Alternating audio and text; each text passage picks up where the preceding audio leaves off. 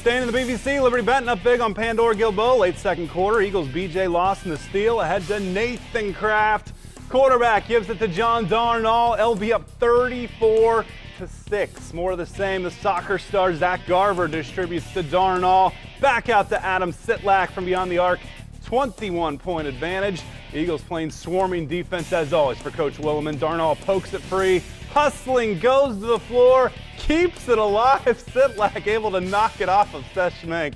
LB ball under 30 to go in the half. Lawson lobs to Sitlak. Misses. Kraft puts it back. The Pound Squad with another win as they take it tonight 68 to 24.